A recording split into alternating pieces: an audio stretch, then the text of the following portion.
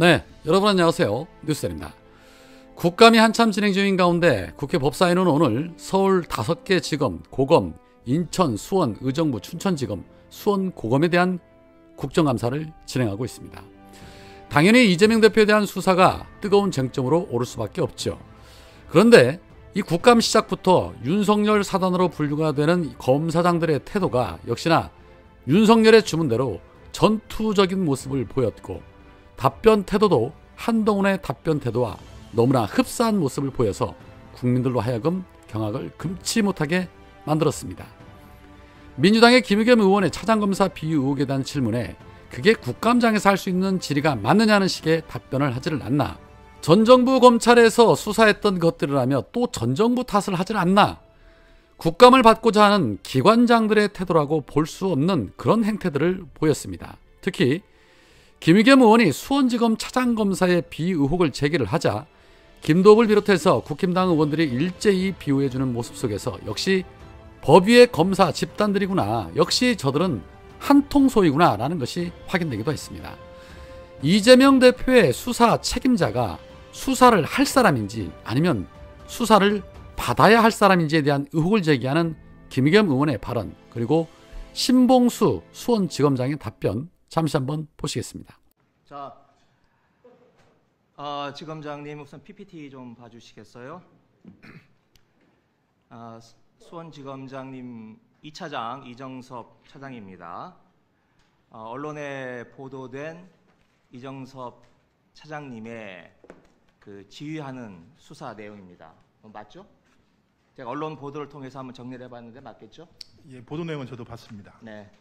하여튼 뭐 이재명 대표를 수사하는 그 지휘를 맡는다 이런 내용인데 맞겠죠? 그런데 아, 이분은 수사를 할 사람이 아니라 수사를 받아야 될 분 같습니다. 저에게 제보가 들어왔는데 아, 확인된 것만 최소한의 확인된 최소한의 것만 한번 말씀을 드리겠습니다. 우선 들어가기 전에 이분이 용인에 있는 모 골프장의 사위시던데 그리고 현재 그 골프장은 처남이 운영을 하고 있습니다. 뭐 여기서는 가보신 분도 있지 않을까 싶습니다. 자 다음 우선 어, 위장 전입입니다. 자 왼쪽이 어, 도곡동에 있는 레미안 그레이튼 아파트라고 하는 것인데 왼쪽이 실제 거주지예요. 오른쪽이 104동입니다. 이래로 주민등록지를 옮겼어요. 같은 도곡동에 있는 같은 아파트인데 101동에서 104동을 옮겼어요. 왜 옮겼느냐? 길 하나를 두고 옮긴 이유는 오른쪽 표에 있듯이 에, 위에 있는 초등학교가 두 개 있는데 그것보다도 아래에 있는 서울 대도 초등학교가 명문 초등학교다. 아, 이래가지고 어, 같은 동네인데도 길 하나를 건너서 위장 전입을 했습니다. 자, 그 다음 페이지 한번 넘어가 보실까요? 이게 그 주민등록 등본입니다. 아, 104동으로 옮긴 건데 제일 밑에를 한번 봐보세요. 그러면 친척 명의로 갔어요. 예, 처가의 처가 친척 인척이죠. 처가 인척으로 이정석 검사와 자기 딸만 데리고 어, 부인은 그냥 놔두고 저렇게 예, 아버지와 딸이 주민등록지를 옮겨서 명문 대도 초등학교로 어, 입학을 합니다. 다음. 아까 제가 그 골프장 사유라고 했잖아요. 그래서 그 처가와 관련된 각종 민형사 분쟁의 이 집사 역할, 해결사 역할을 합니다. 제가 그래서 아 이래서들 검사 사위를 두고 싶어 하는구나 돈 많은 분들이 라고 제가 생각을 하게 됐어요. 자 제일 왼쪽이 분쟁과 관련된 골프장의 분쟁과 관련된 고발 사건이고요. 가운데 있는 건 뭐 내용이 복잡하니까 넘어갑시다. 아, 그걸 이제 처남이 요청하니까 그 현직 아, 변호사를 어, 자기가 잘 아는 변호사를 추천을 해줘서 어, 이 사건이 가볍게 끝납니다. 자, 다음. 이건 좀 심각해요. 이건 범죄 행위예요. 어, 이 골프장에서 일을 하는 골프장 직원, 가, 가사 도우미, 베이비시터 이런 사람들의 범죄 기록을 조회를 해줍니다. 자, 제일 왼쪽에 보면 형 이 사람 수배자나 전과 있는지 좀 알아봐 줄 수 있을까요? 라고 하니까 그러면서 그 처남이 자기 직원의 저렇게 주민등록증을 찍어가지고 보내요. 어, 그런데 이런 일이 어, 빈번하게 일어나고 있음을 보여주는 게 오른쪽 문자 카톡 내용입니다. 이 카톡은 이 이정석 검사의 부인 조아묵의 교수입니다. 조아묵의 교수와 그 친인척 간에 주고받는 내용인데 그 내용을 제일 밑에를 보시면 헉 누구 앞에서 아줌마 전과 얘기하면 큰일 나겠다. 조심해야. 아, 이렇게 나옵니다. 이게 가사 도우미인데요. 가사 도우미의 전과 조회를 해줘서 그걸 저렇게 둘이 내용을 주고받는 내용입니다. 이 검사가 이렇게 하면 되겠습니까? 네, 다음.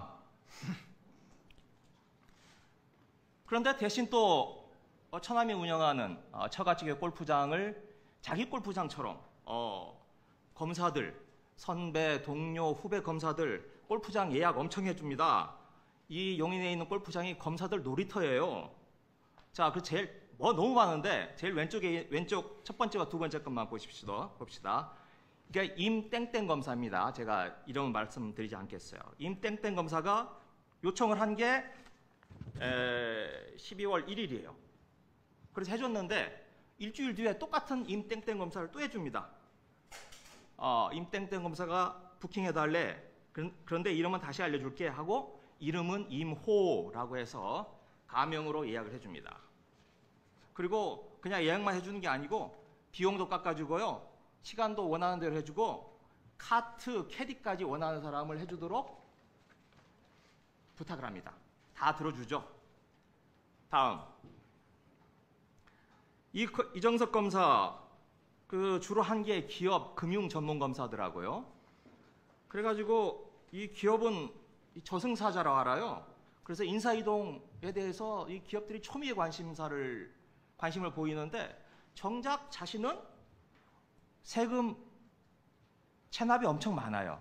제가 확인한 것만 제가 확인한 것만 21년부터 23년 2년 동안에 확인된 체납액만 1,863만 6,900원이에요.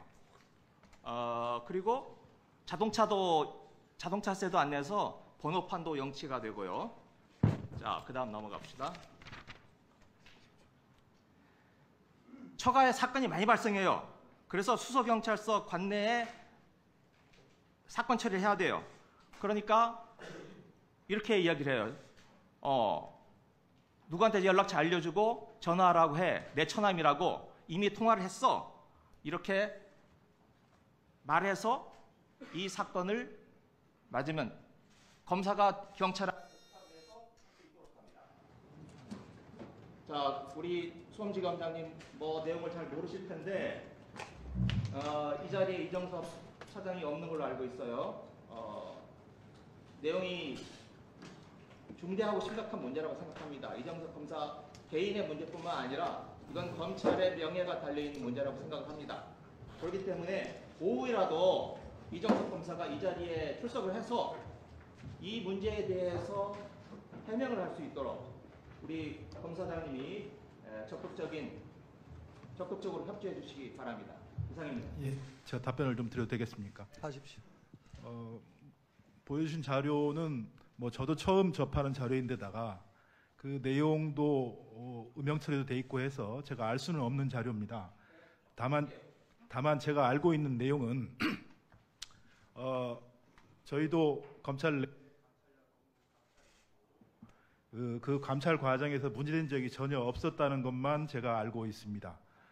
아, 그리고 지금 사실은 오늘 국감장 이 자리는 지난 1년간 어, 수원과 서울 고지검이 한 업무에 대해서 어, 말씀하신 자료를 알고 있는데 어, 오늘 하시 이 자리에서 할 수 있는 말인지는 어, 좀 의문이 있습니다.